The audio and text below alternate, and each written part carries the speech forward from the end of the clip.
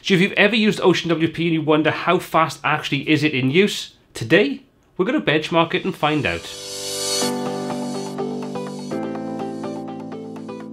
So we recently took the Hello theme for WordPress for a test drive. We wanted to find out how fast it was in real world environments. So we tested it with just the theme installed, with Elementor installed, we created a simple page setup with a header, footer and some content inside Elementor Pro. And finally, we added in an optimization plugin to get the best out of both the server setup and the theme. If you want to check out the results of that, you can take a look at the link in the corner right now. I'll also put a link in the description below. Well, today we're going to recreate those tests with Ocean WP, a theme that I've been using in my own projects for a couple of years now, so I wanted to see exactly how it would stack up against Hello Theme. Well, my name is Paul C. This is WP Tuts, the channel where I help you create beautiful WordPress websites. If this is your first time on the channel, please consider subscribing and clicking that bell icon below to become part of the WP crew and be notified every time new content is added. Okay, so let's just jump over into the dashboard of WordPress now, install OceanWP and start those tests. So first thing we're going to do is go through and install OceanWP. So if we jump over to the dashboard, you can see we currently have a clean install of WordPress. We take a look at the appearance section and come into themes. You find all we have in there is the 2019 theme, which we will remove in a moment once we've downloaded OceanWP. Now I want to give a quick disclaimer before I start this test. This is based upon the server setup that I'm using. If you're using a different host in a different environment, your results will vary differently. But this should give you a good example when you compare it to all of the different themes we're testing in this series, how they compare to each other. Okay, so let's go ahead and add in our new theme. So we're going to click add new, come over to search for themes, and we're going to look for Ocean WP. We'll download the latest version of that and install it. Now normally obviously you would go through the process of using a child theme, but that doesn't really have any major impact upon the speed of the actual parent theme you're using. So for this example, we're going to leave it with just the theme installed. We'll activate that and the next thing it's going to do is ask us to install some plugins. Now we're only going to install one plugin and we're installing this because by default you are going to install this with OceanWP itself because it adds additional functionality to the actual theme itself and opens up all the things you can do in the customizer. So with that being said, we just need to install Ocean Extra. We won't install Elementor at this point and we won't through this entire process install WP Forms. Let's install Ocean Extra. Once we've done that, we are then pretty much good to go through. So you can see we now return to the required plugins. We can leave those as they are. We're going to skip the setup. I don't want to do any of that. I just want a completely vanilla copy of OceanWP setup. Okay, so we're now ready to do our first series of tests. We're going to be using two online resources for this, so we match in with all the other tests we do. We're going to use Pingdom. We're going to use that to benchmark the speed of it, and we're also going to be using GTmetrix. So let's start off with Pingdom. First thing I'm going to do is put in the domain that I'm currently using to test this out. Once we put that in, I'm going to set test the local servers to me. I'm based in the UK, so I'm going to choose the European ones. This is going to give me the best example of being closest to my servers and should give me a real world example of how fast this is on my server in my country. Now, let's just click on start test and let it run through and do the initial tests. Now, it's telling us we're in a queue, so we don't worry about that. So I'll just pause the video now and come back when the results are in. And there we go, there's our initial results. You can see we've got a performance grade of 91, which is pretty good starting point page size which is just over 260 kilobytes and we've got a load time of roughly 607 milliseconds with 20 requests.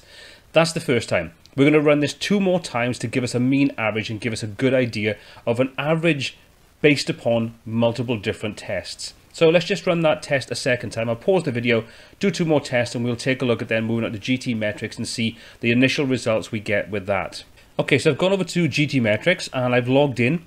Now at the moment this is using the browser Chrome and set to Vancouver, Canada. So again, I want to change that over now to be the local to me, which is going to be London, UK. Everything else we're going to leave as is, and we're just going to hit Analyze on there. And we're going to get our initial results then, then on GTmetrix, and we'll use that as the basis for our tests and there we go, there's our test straight out of the box. You can see we're getting a page speed of 98%, which is very good. We're getting a YSlow of 87%. Now this is one of the reasons we're going to get this, is if we jump into the YSlow tab, you'll see we're not using a CDN, a content delivery network, so we are going to be scored down a little bit on that under the YSlow setting. Obviously, it's recommended use a CDN. If you don't have access to that, then you are going to get a slightly slower score on that. You see we've got a fully loaded time of just under one second and the total page size is pretty consistent with Pingdom at around 260 270 kilobytes and again the same number of requests.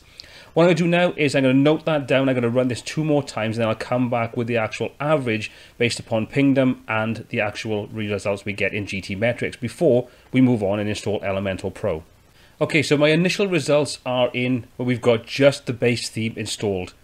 On pingdom, we're getting just under 600 milliseconds across that mean average. On GTmetrix, we're getting just under one second. So there is a bit of a difference between the two, but like I say, if we had a CDN install, I'm sure that would change the actual results. But that's the base score that we're working from before we add anything else into the equation.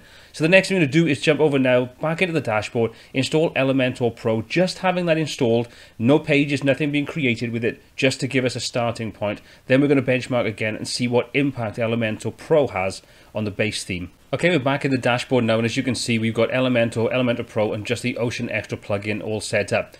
So we're going to run those tests again now, where we don't have any actual pages created. We've just got the plugin installed. That's it. So let's just jump back over to Pingdom. We're just going to refresh this, come back up to start a new copy of this. We're going to come in and we're just going to put in our details and run that on our local setup. So let's start that test again, let that run through and see what we come back with now as our base results.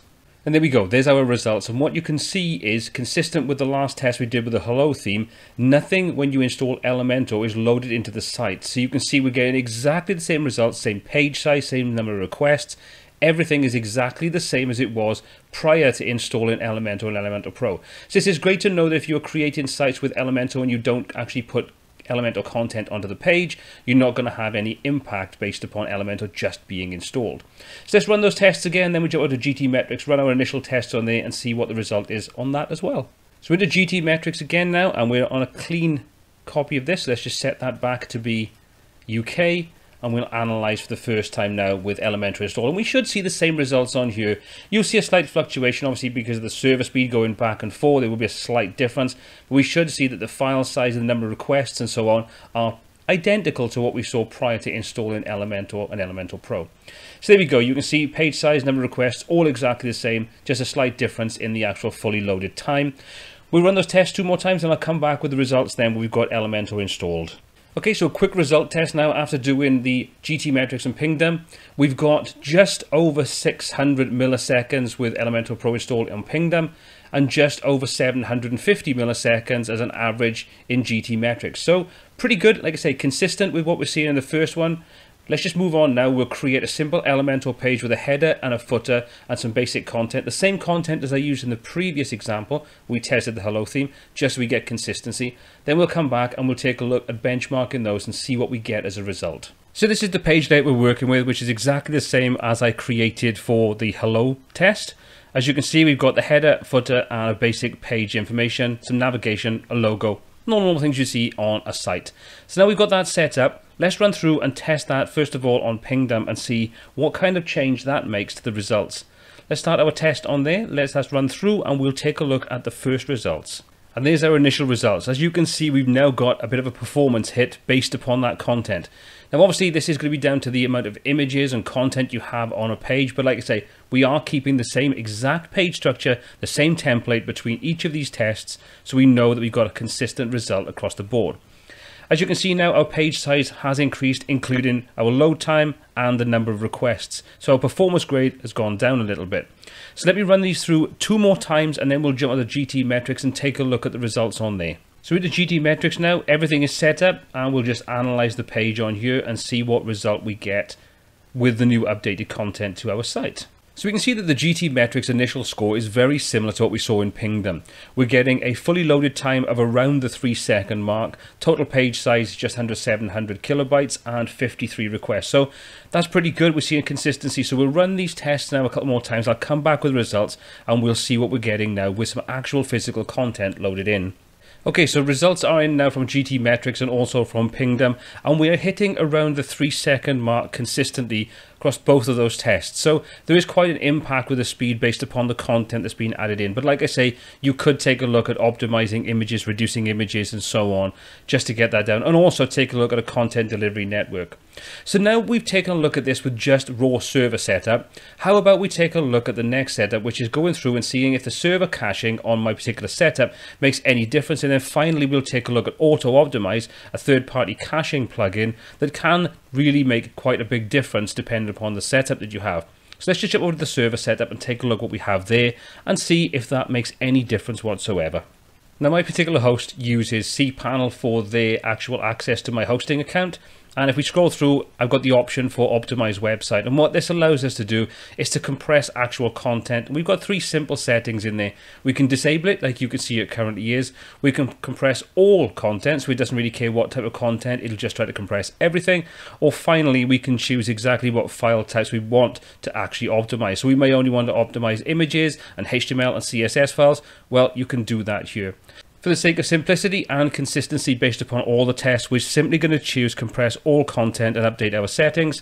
That's now optimized everything on our server and if it makes any difference, we'll see that now when we start to test it through again through our online testing platforms.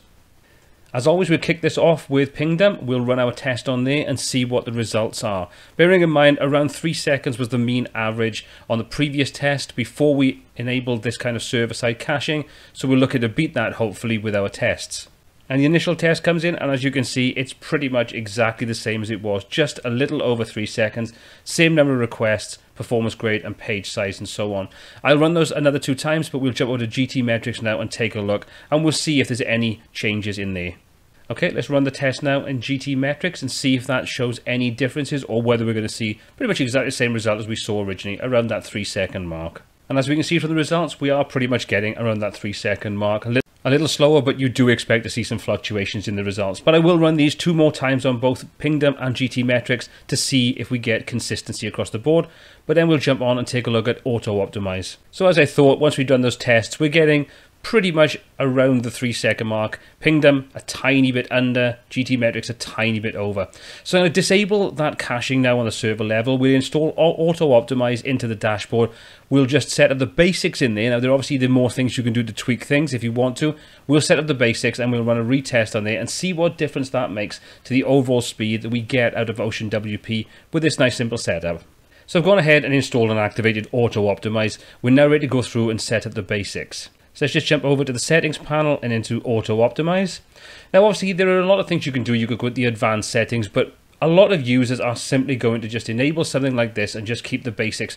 We're going to stick to that. If you want to get in and get into more advanced functions, you can do, but let's just keep this simple and like I say, consistent. So we'll optimize the HTML, the JavaScript and the CSS. We'll just save the changes on there and empty the cache. Then we'll jump into the extra section. We're going to leave the Google fonts as they are. And again, we're going to optimize the images. We'll leave that as is because we don't want to do that. We will remove the emojis and we will remove query strings. So this is a really down and dirty, simple, basic Autoptimize install. So we've done that. So let's just jump over to Pingdom now and let's start benchmarking this with Autoptimize enabled with its most basic settings. Let's hit that start test and let's see what results we're going to get now with Autoptimize and see if it makes a big difference to what OceanWP puts out with a simple copy of Autoptimize installed. And there we go, the results are in. And as you can see, it's made quite a considerable difference. Our performance grade has gone up to 91. Our load time has come down to just over 1.2 seconds and our requests are basically halved. So I think that's really, really good starting point. So let's just jump over to GTmetrix now and run the same test on there and see what result we get back. Okay, let's hit analyze and let that run through now and see what results that comes back with with Autoptimize installed. There we go. There's the results on GTmetrix. We're getting a fully loaded time of 2 seconds and a page size of just under 700 kilobytes, but those requests are down to 26 as well. So we've got a nice little speed increase there. So let's run through these tests two more times, get our average and see what result we get. Okay, so those final results are in now with OceanWP installed, Elementor Pro installed, an Elementor Pro based page with a couple of templates, server-side cache disabled and auto-optimized with its most basic settings and we're coming back with Pingdom gives us a result of 1.22 seconds and GTmetrix a result of 1.7 seconds. Now these are averages based upon three different results for each one.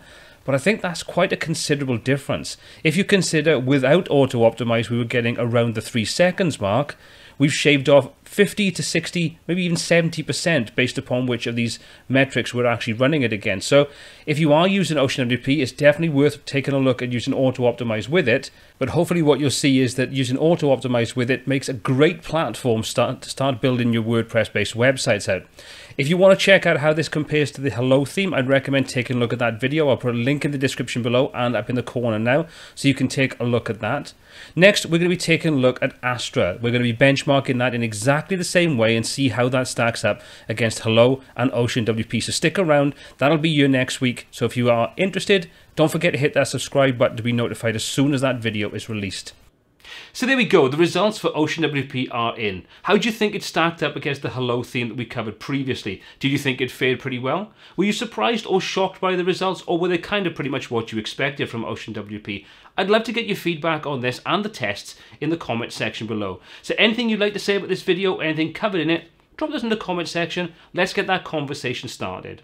Now speak in the comment section if you enjoyed the video, give it a thumbs up. If you didn't, give it a thumbs down. That's perfectly fine. But let me know in that comment section what you did or didn't like about the video. Helps me create better content for you moving forward. Well, as always, all the applicable links for everything covered in this video and everything we cover on the channel are in the description below, so you can check that out there. As always, my name has been Paul C. This has been WP Tuts, and until next time, take care.